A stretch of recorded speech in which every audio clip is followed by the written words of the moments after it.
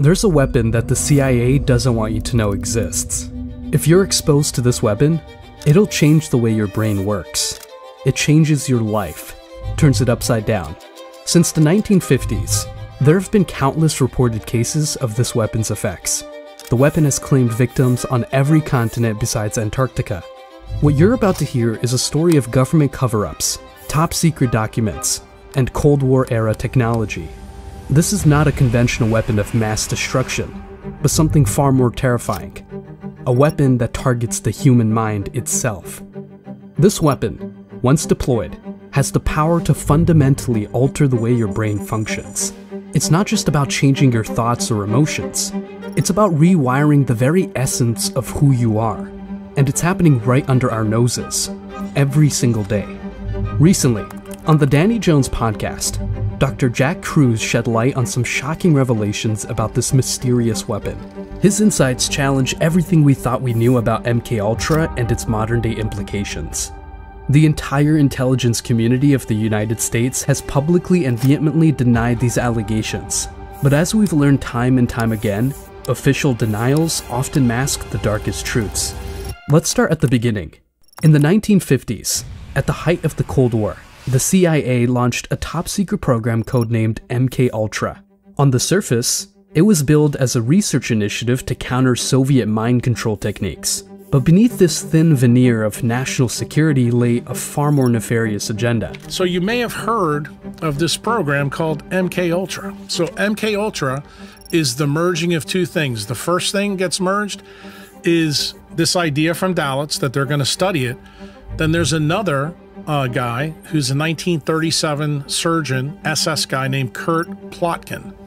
Plotkin worked with the Nazis. His idea was mind control through the use of Mexican peyote. MK Ultra was, in essence, a merging of two distinct ideologies. The first stemmed from the aftermath of the Kennedy assassination in Dallas, where there was a push to study and understand the manipulation of human behavior. The second influence came from a much darker source Nazi Germany. Kurt Plotner, a surgeon who worked with the SS in 1937, had been experimenting with mind control techniques using Mexican peyote. His work caught the attention of CIA operatives who saw the potential for weaponizing altered states of consciousness. This unholy alliance of American paranoia and Nazi pseudoscience gave birth to one of the most unethical and dangerous programs in US history. Initially, MK Ultra focused on drug-based mind control, famously experimenting with LSD and other psychoactive substances. But as the program evolved, it began to explore more subtle and pervasive methods of manipulation. This is where the story takes an unexpected turn towards the realm of electromagnetic weapons, specifically focusing on the effects of blue light on the human brain. They decide to employ it here first. So Delgado finds out that actually it does work. You can do it without wires. You don't have to do brain surgery on the the animal to do it. And then they ask the next question. They didn't have to. They didn't have to install anything in the brain. No, they did not. But this was the the key step. This is the step where I think your audience, you people find it incredulous when I tell them. The next step was, could you do this using light and light alone? And it turns out they found out you could. If you use blue light specifically, The CIA discovered that blue light could be weaponized to affect human behavior and cognitive function. This wasn't just about mood lighting or sleep cycles. They found that concentrated, pulsed blue light could disrupt neural pathways, alter decision making processes, and even induce a state of heightened suggestibility. But why blue light? The answer lies in our biology. Our eyes have specialized receptors called intrinsically photosensitive retinal ganglion cells, IPRGCs, that are particularly sensitive to blue light. These cells don't just affect our vision, they're directly connected to parts of the brain that regulate our circadian rhythms, hormone production, and even our emotions. it actually destroys the dopamine reward tracks in your brain. Just so you know, Meta and Google today own those patents. The CIA weaponized this knowledge by manipulating the intensity, frequency, and duration of blue light exposure. They found they could induce a wide range of effects, from subtle mood changes to more dramatic alterations in behavior and cognition. But here's where it gets even more sinister. The CIA didn't just keep this technology for covert operations. They began a long term plan to normalize the use of blue light in everyday life. Google was formed in 1995 when DARPA gave the search algorithm to uh, these two cats from Stanford. You know about Stanford now, right? They basically then figure out and perfect the delivery of blue light technology through screens. Think about it. How many hours a day do you spend staring at screens that emit blue light? Your phone, your computer, your TV. They're all bathing you in the very same light that the CIA weaponized decades ago. Who is the big tech company in the 1950s and 60s that were doing this? Turns out that's IBM. And IBM is working on liquid crystalline displays. And I remember this is in the 50s and 60s. You, as a young man, never saw those TVs until the 90s. Mm-hmm. Okay. And then it got a boost from who? Obama, who made the analog to digital transition so that you'd have to use what? LCD screens. And then what else did he do? We're going to ban incandescent bulbs. Why? Because incandescent bulbs not only have fake blue light, but they also have purple and red, which is what you need as the antidote to blue. This isn't just about energy efficiency or better picture quality. It's about creating an environment where we're constantly exposed to the type of light that can be used to manipulate our minds. But the story doesn't end there. As technology has advanced, so too have the methods of mind control. Welcome to MK Ultra 2.0, or as it's officially known, the Brain Health Initiative. Guess what MK Ultra is called today? Do you know? Any of your conspiracy boys ever I tell have no clue. Brain Health Initiative set forth in 2013 by President Obama. Do you know where it's based? In Central and South America. Isn't that funny that it's in the same places where you can't find it? And do you know where it's hidden in? Places called centers of excellence. This new iteration of MK Ultra isn't about crude experiments with LSD or electroshock therapy. It's a sophisticated, multifaceted approach to controlling the human mind using cutting-edge neuroscience and technology. So the Brain Health Initiative comes in. This stuff is being done in places right now.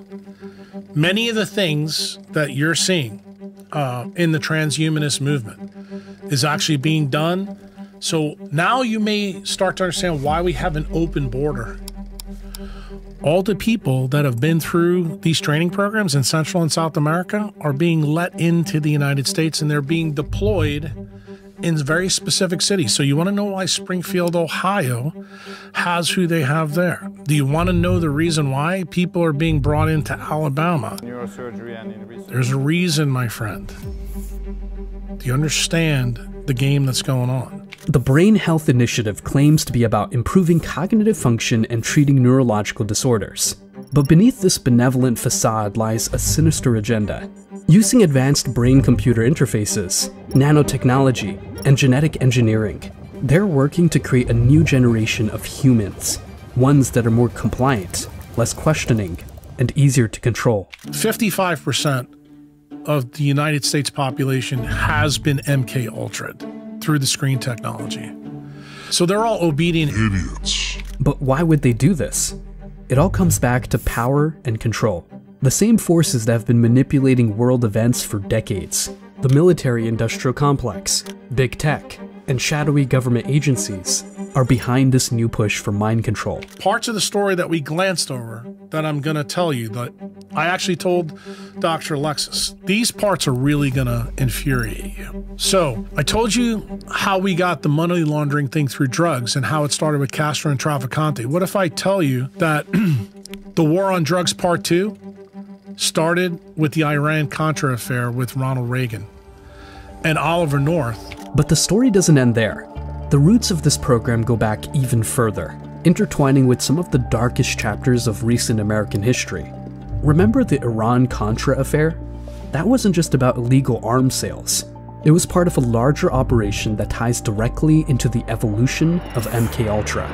The war on drugs, which many of us grew up believing was about public health and safety, was in fact a cover for a massive money laundering operation. This operation, which began with Castro and Trafficante, evolved into the Iran Contra affair under Ronald Reagan and Oliver North.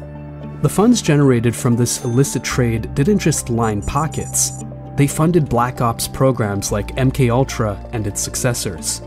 This connection between drug trafficking, covert operations, and mind control research isn't just conspiracy theory, it's documented fact. The same networks that moved drugs and weapons also facilitated the movement of research subjects, scientists, and technology necessary for these clandestine experiments. So, where does this leave us? In a world where our minds are under constant assault from technologies designed to control and manipulate us, a world where the very devices we rely on for work and entertainment are potentially rewiring our brains. A world where shadowy government agencies and corporations are working hand in hand to create a populace that's easier to control. But knowledge is power. By understanding these tactics, we can begin to protect ourselves. Use blue light filters on your devices. Be skeptical of health initiatives that seem too good to be true question the push towards merging our brains with technology. Most importantly, cultivate your ability to think critically, engage with diverse sources of information, challenge your own beliefs and assumptions. The most powerful weapon against mind control is a mind that thinks for itself. Remember, this isn't about paranoia, it's about awareness. The technologies and programs we've discussed are real, documented, and ongoing. But by staying informed and vigilant, we can resist their effects and maintain our autonomy. In the end, the human spirit is resilient. Throughout history, people have resisted oppression and mind control in all its forms. We are not powerless in the face of these technologies. By coming together, sharing information, and supporting each other, we can create a future where technology enhances rather than controls our lives.